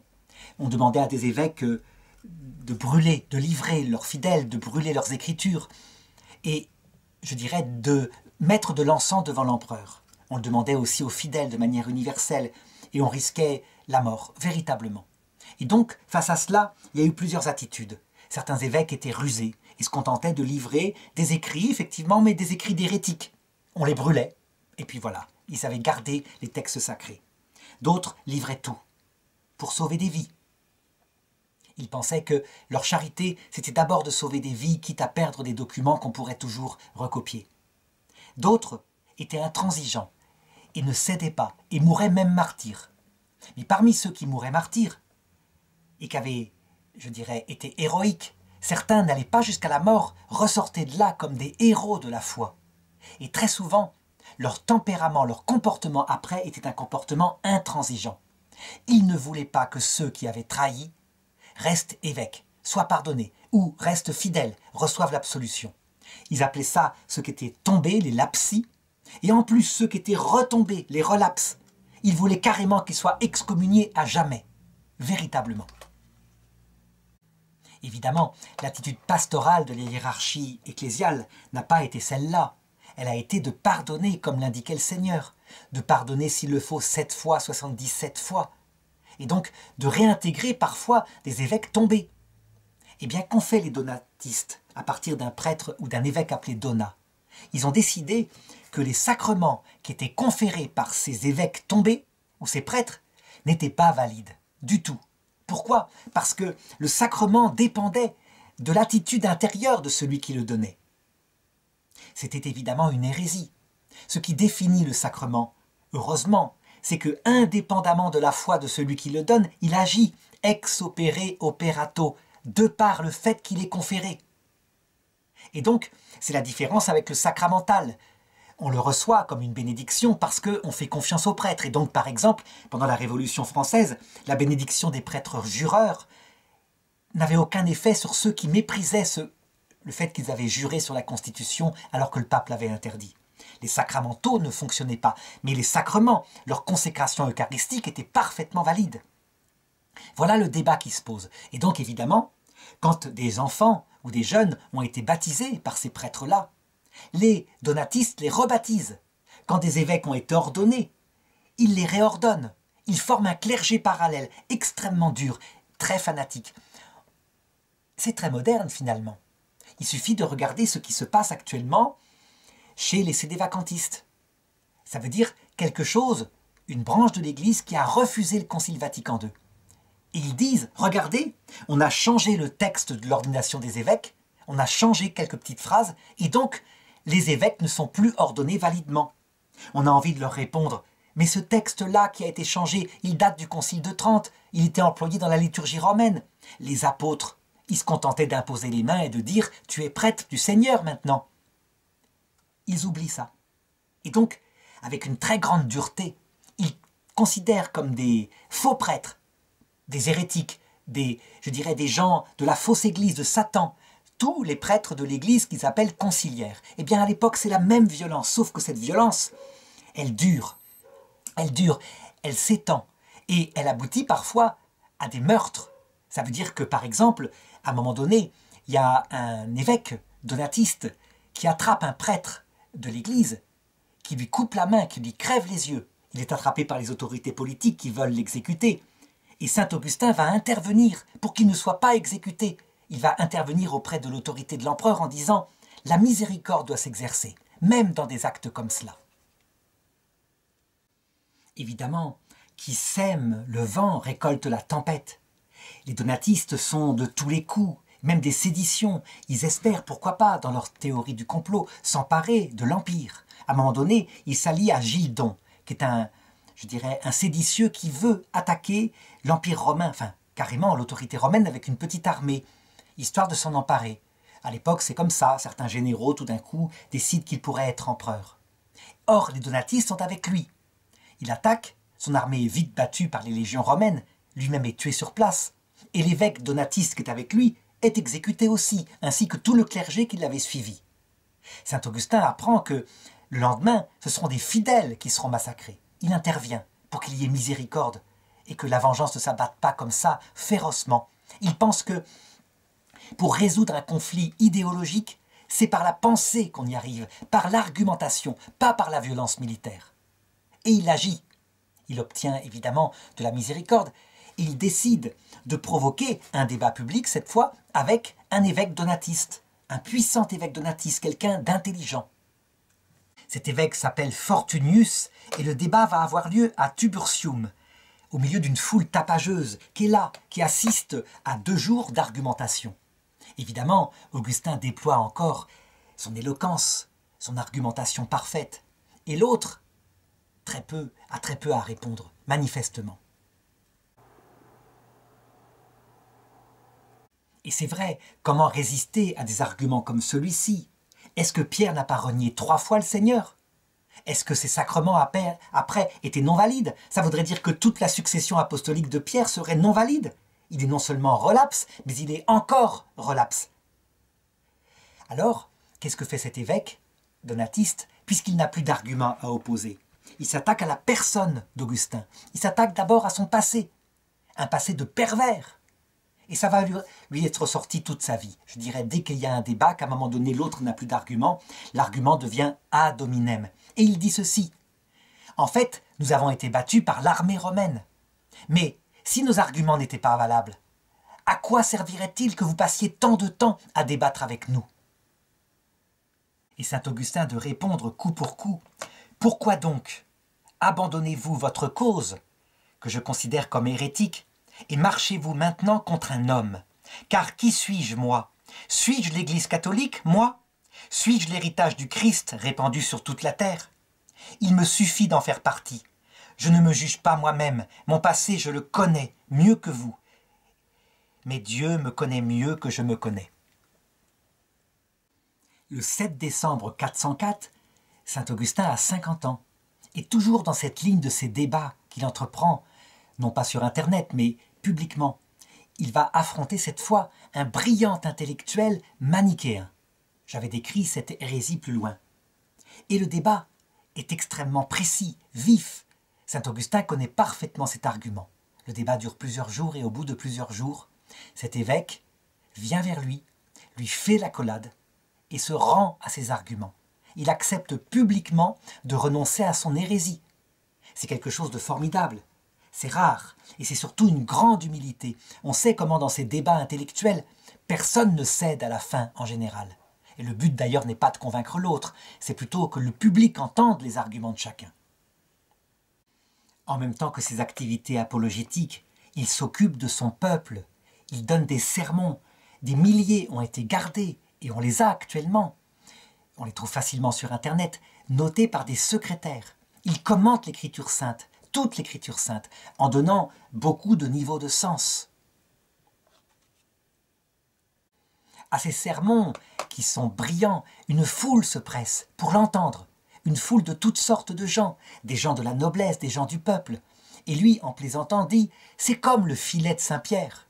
il y a toutes sortes de poissons dedans, depuis le crabe en passant par la truite, la belle truite de mer. C'est comme cela. Et parallèlement, eh bien, il observe la politique. Il n'a pas comme maintenant la télévision, mais tout lui parvient petit à petit. Les nouvelles de l'Empire sont terribles, de l'Empire d'Occident, attaqué de toutes parts par des tribus barbares. Et je dirais attaqué aussi de l'intérieur, par les propres divisions de ses chefs. Il va se mêler de politique, il le peut, parce qu'on vient lui demander conseil. Et je voudrais dire que, ici, il n'y a pas infaillibilité, bien sûr. Il fait comme il peut. Je dirais même que il va être très déçu par la politique. Et ça va l'amener à réfléchir à cette question, non seulement de la fin du monde, mais cette question de la royauté du Christ sur terre, des deux cités.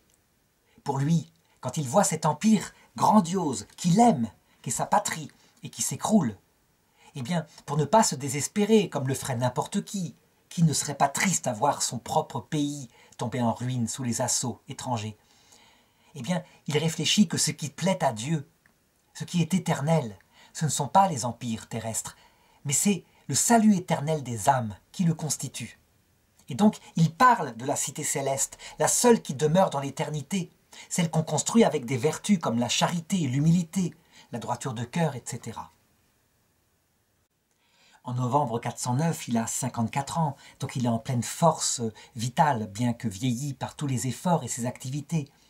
C'est à ce moment-là qu'il apprend que Rome a été attaquée par les Vandales et que Alaric a forcé à élire sur le siège de l'empereur un, faux empereur. Un faux empereur que, d'ailleurs, un évêque Go a baptisé Arien, dans l'arianisme carrément. Donc l'Empire risque de basculer peut-être dans cette hérésie. Fort heureusement, il y a une contre-attaque d'un général qui s'appelle Honorius et qui arrive à reprendre le pouvoir. Si bien que quelques années plus tard, les Vandales de nouveau contre-attaquent une troisième fois Rome. Il s'écrie face à ses auditeurs désespérés. Quoi? Rome est détruite? La Rome véritable n'en vit pas moins dans l'âme de ses enfants, et l'âme ne meurt pas. Rome n'est pas perdue si les Romains ne sont pas eux-mêmes perdus. L'empereur Honorius, lui, il voudrait reconstituer l'unité de l'Empire, et en particulier en Orient, où c'est tellement divisé entre donatistes et catholiques. Et donc, il exige qu'un concile avec des évêques de chaque parti se réunisse enfin pour réunir les forces de l'Église. 18 évêques d'un côté, 18 évêques de l'autre, et Saint Augustin au milieu, qui prêche, qui prêche si bien pour l'unité catholique que la décision est unanime. Les églises tenues par les donatistes seront redonnées aux catholiques, et les donatistes devront se rallier à l'Église catholique. Évidemment, tout cela se passe aussi avec une guerre civile permanente, une guerre d'ego, c'est-à-dire des nobles qui essayent de se dire pourquoi ne deviendrais-je pas empereur de cet endroit? D'autres qui ont pris parti fidèlement pour l'empereur et qui sont accusés d'avoir été traîtres et qui sont décapités. Saint Augustin essaye d'intervenir à Carthage en particulier pour un de ses amis dont il est convaincu de l'innocence. Rien n'y fera, il sera décapité. Et c'est ainsi, je dirais, qu'il a des réussites, qu'il a des échecs, qu'il constate ce que c'est que ce monde où il n'y a pas vraiment de justice. L'un des échecs les plus, les plus difficiles apportés par saint Augustin, c'est son rapport avec le gouverneur Boniface, gouverneur de l'Empire romain en Afrique. C'est un homme qu'il a reçu, qui à un moment donné, venant de perdre sa femme, presque désespéré, était venu le voir parce qu'il avait l'idée de se faire moine, de renoncer à tout ce pouvoir politique si compliqué. Et saint Augustin l'avait encouragé, parce qu'il avait défendu l'Empire de manière héroïque, très droite. Il l'avait encouragé en lui disant Restez à votre place. Qui défendra l'Empire en Afrique si vous n'êtes pas là? Et lui avait objecté qu'il faisait la guerre, que des hommes mouraient.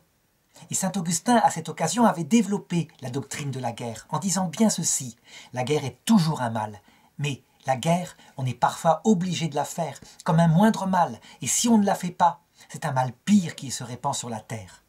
Il l'avait dit à Boniface. Et quelle erreur, quelle erreur de choix, mais il s'en rendra compte plus tard. En effet, Boniface n'est qu'un homme, il n'a pas l'héroïsme de sacrifier sa propre personne à l'Empire. À un moment donné, quand l'empereur Honorius périt, Boniface est dénigré profondément par son successeur. Pourtant, il a défendu son propre fils, qui est un enfant, de tout son pouvoir. mais on le dénigre, on le dégrade. Et au lieu de, je dirais, de laisser passer sa personnalité en second par rapport au bien de l'Empire, il se révolte devant une telle injustice et décide d'appeler à l'aide, en Afrique, les Vandales. Les Vandales qui sont, à cette époque-là, réfugiés en Espagne. Non seulement il les appelle, mais il leur fournit sa flotte, la flotte romaine, pour les amener en Afrique. Il est en train de faire une bêtise, une bêtise terrible.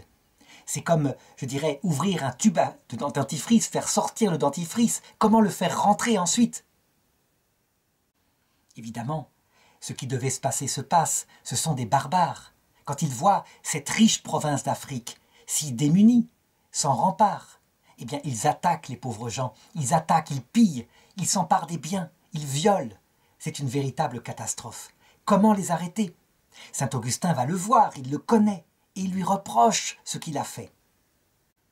Il n'arrive pas à le rencontrer parce que, entre-temps, Boniface s'est remarié avec une Arienne, et donc il n'a jamais osé recontacter Augustin. Alors il lui écrit et il lui dit ceci. C'est vers le Christ qui a fait tant de bien, qui a souffert tant de mal. Si vous avez reçu tant de bien de l'Empire, vous ne lui rendez pas le mal pour le bien. Mais si vous avez reçu du mal, ne lui rendez pas le mal pour le mal. Le prêtre Paul, au péril de sa vie, se rend à Carthage pour porter la lettre au gouverneur Boniface. Mais rien n'y fait. Il est dans sa colère, dans ce désir de revanche par rapport à l'impératrice qui l'a tellement humilié. Alors, une délégation est envoyée auprès de l'impératrice pour lui dire de pardonner à Boniface, de le rétablir dans ses honneurs. Et peut-être, peut-être de cette façon-là, il redeviendra un serviteur de l'Empire. Il vaut mieux mettre son orgueil de côté, tellement la vie des gens est en danger, et c'est l'Empire lui-même qui peut s'écrouler. L'impératrice Placidie cède, et elle rappelle l'armée qu'elle avait envoyée pour combattre à la fois euh, Boniface et les Vandales. Elle envoie aussi un délégué, et Boniface accepte de se rallier à l'unité de l'Empire. Seulement, comment faire Maintenant qu'il y a 80 000 Vandales qui sont présents comme cela sur l'Afrique, comment les faire sortir? On essaye de conclure un accord avec eux, mais évidemment ils ne veulent pas partir. La proie est trop riche. Toute l'Afrique est sous la domination vandale, sauf Hippone, la ville de Saint-Augustin, Carthage et Circa. Alors, il vient à Hippone et il aide à fortifier. Boniface aide à fortifier la ville d'Hippone. Et c'est là qu'il va rencontrer de nouveau saint Augustin. Quand il le voit, Augustin lui dit simplement Mon fils, je vous attendais. Alors il se débat, je dirais Boniface, il se débat pour défendre au mieux cette ville. Et ensuite, le soir, après avoir monté tant d'héroïsme pour essayer d'arrêter les dégâts qu'il a lui-même causés comme un apprenti sorcier, eh bien, il se confie à Augustin. Je suis assailli de remords, dit-il. Augustin lui répond Vous mesurez, mon fils, tous les maux qu'a répandus sur vous votre folie. Et il répond Ah, mon père, comment pourrais-je expier? Saint Augustin lui répond Nous sommes tous coupables, nous pouvons tous être pardonnés. Et Boniface de conclure Mon repentir est infini. On pourrait se dire que Boniface, ayant reçu l'absolution, va changer son comportement. On ne se bat pas avec soi-même, on reste soi-même. En 431, Augustin est très âgé. Le siège d'Hippone dure depuis plusieurs années. Finalement, avec une armée romaine, Genséric le Vandale est repoussé. L'impératrice, quant à elle, elle finit par nommer Boniface chef suprême de l'armée romaine et c'est ainsi qu'il pourra battre un autre séditieux contre qui il avait, je dirais, une dent. C'est ainsi que, finalement, l'Empire s'affaiblit encore, mais que Boniface, lui, à titre privé, a eu sa revanche sur un ennemi puissant. On le voit, ce qui finalement a perdu l'Empire romain, c'est que chaque général, dans son particulier, cherchait son bien propre, et que le bien général passait en second. Et pendant tous ces malheurs politiques, eh bien, Augustin, lui, ne cesse pas ses travaux apostoliques. Il ne, cesse pas non plus ses travaux apologétiques. Il va rencontrer par exemple une autre hérésie qui va lui prendre beaucoup de temps. C'est le pélagianisme. Pélage, c'est un prêtre qui a élaboré une doctrine théologique comme quoi, pour se diriger vers Dieu, pour obtenir la grâce surnaturelle, donc la, vie éternelle, il suffit d'utiliser sa volonté, ses efforts. C'est une question d'effort, et on l'obtient. Sa doctrine paraît innocente, après tout. Le Christ appelle à faire des efforts, à faire la volonté de Dieu. En fait, cette doctrine radicalement détruit le catholicisme. En effet, si la grâce est inutile pour se tourner vers la vie surnaturelle, alors la rédemption accomplie par le Christ, qui met fin au péché originel, qui communique l'Esprit Saint, tout cela est vain. Ce sont des sujets subtils, complexes. Quelle est la place de la liberté humaine? Quelle est la place de la grâce dans le fait qu'on se tourne vers Dieu? Saint Augustin va développer une doctrine, une doctrine qu'il essaye d'exprimer au mieux avec les concepts de la philosophie. Mais c'est pas facile. En réalité, sa doctrine, si on la regarde bien, elle signifie ceci c'est Dieu qui prend l'initiative, qui communique à l'homme le premier sa grâce, qui attire l'homme à lui, qui se révèle à lui. Et une fois qu'il lui communique cette grâce, l'homme répond par la foi. Alors Dieu peut élever son âme par une sorte d'organisme spirituel qui lui permet effectivement, tout en étant attiré toujours par Dieu. Donc c'est comme si deux grâces collaboraient pour que l'homme remonte vers Dieu un organisme spirituel qui lui permet d'aimer Dieu comme un ami, chose impossible. Comment une petite créature pourrait aimer l'infini? Eh bien, c'est ce que provoque la grâce sanctifiante. Mais en même temps, ce Dieu, par une grâce actuelle, maintenant, l'attire à lui, comme un aimant, si bien que l'homme est comme porté à se tourner vers Dieu le temps, sinon il flétrirait sur cette grâce actuelle. Alors, fondé là-dessus, l'effort de l'homme s'exerce c'est un effort porté par la grâce, mais un effort qui vient vraiment de l'homme, parce que l'homme est surélevé par cette grâce. Évidemment, dans ce domaine, je dirais, il y a plein de positions possibles, différentes. C'est donc très complexe. On sait comment Martin Luther, qui se dit augustinien, ne prendra que le premier aspect. Dieu seul vient chercher l'homme, et c'est par la grâce que tout se fait. Et oubliera que, en fait, saint Augustin a bien précisé qu'à un moment donné, la grâce étant donnée, l'homme a un effort à faire. Un amour réellement venant de lui, porté par la grâce, mais qui va produire des œuvres. Et donc, en prenant tel ou tel aspect de la doctrine de saint Augustin, on peut fonder telle ou telle hérésie. Face au pélagianisme, un concile se réunit, et on ne sait pas trop. Il y a diverses opinions qui sont là, qui débattent. Même le pape semble se ranger à un moment donné du côté du pélagianisme, parce qu'il dit tout de même l'effort humain a bien un rôle là-dedans. Finalement, le pape suivant, le pape successeur, condamnera le pélagianisme et donnera raison à saint Augustin. Ainsi, sur un sujet qui ne sera profondément débattu qu'au Concile de Trente, donc euh, mille ans plus tard, eh bien, déjà saint Augustin a abordé le problème, ce qui fait qu'on l'appelle le docteur de la grâce. Cependant, Augustin est devenu un vieillard, il a 72 ans. Les charges épiscopales lui prennent trop de temps, il pense qu'il vaut mieux que maintenant il se consacre à terminer ses livres, et surtout à faire ses réfutations, j'en ai parlé tout à l'heure. Donc il demande à un prêtre, il demande à l'autorité d'être, d'avoir avec lui un évêque coadjuteur, qui puisse prendre sa charge, de manière à ce que lui se consacre à ce qui est finalement sa grâce, les écrits. C'est un travail de titan. Il a écrit 232 livres. Il faut qu'il relise et qu'il réfute ce qui est une erreur dans ces 232 livres. Et en même temps, les vandales sont à la porte. Il a maintenant 76 ans. Et voilà que Julien écrit une série de livres pour défendre la doctrine de Pélage. Il faut les réfuter. Il ne s'arrêtera jamais. Il écrit donc des réfutations, des livres un par un. Il en est rendu au sixième quand la fièvre le prend. Je dois ajouter que depuis des années, il vit dans une cellule de moines. Il a créé un ordre avec une règle qu'il a écrite, la règle augustinienne, qui aura d'ailleurs une grande influence sur tout l'Occident.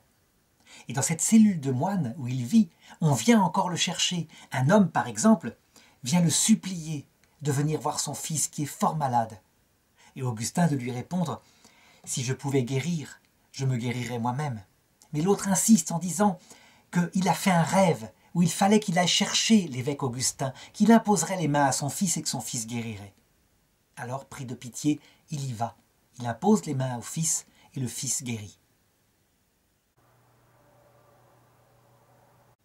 Le 28 août 430, les fidèles savent que leur évêque est mourant. Et pour eux, c'est une catastrophe de plus dans ces climats de fin du monde. Ils prient pour qu'il ne meure pas. Mais hélas, Saint Augustin se prépare à la mort. Et de quelle façon? Eh bien, il lit et il relit les psaumes de la pénitence.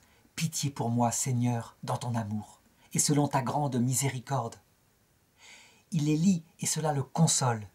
Mais il dit ceci Je ne crains pas de mourir, car nous avons un bon maître. Le plus grand péché, sans doute, qu'il a à confesser, eh bien, ce n'est pas l'idée de rejoindre sa mère au ciel, ou son fils qu'il a eu dans sa jeunesse et qui est mort si tôt. Le plus grand péché, c'est sans doute sa femme, celle qu'il a aimée, qu'il n'a pas épousée, qu'il a abandonnée. Et c'est ça, c'est ça qu'il se prépare à affronter face au juste juge. Il a sans doute d'autres péchés aussi, mais celui-ci particulièrement, il devra l'affronter. Finalement, on peut se demander si toute l'œuvre qu'il a faite, le travail immense qu'il a fait pour le Seigneur, n'était pas, quelque part, afin d'attirer sur lui la miséricorde au jour où il se présenterait, parce qu'il ne s'est jamais pardonné cette histoire-là. Et il meurt ainsi. La foule aussitôt le proclame bienheureux et saint dans le ciel, sans savoir quels sont les secrets de son âme. Et de fait, c'est un saint, parce que, finalement, un peu comme David, qui lui aussi avait commis un grand péché. Toujours il a été conscient de son péché et repentant. C'est aussi un docteur de l'Église, c'est un pasteur, il laisse toutes les dimensions à l'Église d'Occident, avec aussi, malheureusement, parce qu'il est confronté à la bêtise des hommes et que les hommes ne sont pas toujours intelligents, l'idée que certains répéteront son œuvre au lieu de la comprendre profondément pour l'améliorer, en fonction de ce que dit l'Esprit Saint à l'Église, des progrès de la science. Il n'empêche que l'esprit est là, cet esprit qui va enrichir l'Église catholique puissamment, parce que c'est grâce à Saint Augustin, je l'ai dit, que foi et raison marchent ensemble comme deux affectionnés. De l'ancienne Église d'Afrique, où a vécu Saint Augustin et où il y avait 600 évêchés, il ne reste pratiquement rien maintenant. Tout est tombé dans l'arianisme sous les coups de l'islam, après avoir été ravagé par les Vandales. Ce que nous apprend saint Augustin avec son livre Les deux cités, c'est que si Dieu permet de telles catastrophes, ce n'est jamais, jamais pour perdre, mais toujours pour sauver davantage. Et en effet, l'Église, par cette chute, a compris que elle-même ne trouvait sa sève qu'en restant fixée sur la vigne, le Christ fidèlement. Sinon, elle périt. Et donc que les combats théologiques sont très bons, à condition de ne pas tomber dans l'orgueil et la dureté, mais qu'ils sont au service de quelque chose de plus profond, la sainteté qui passe par l'humilité et l'amour de Dieu et du prochain.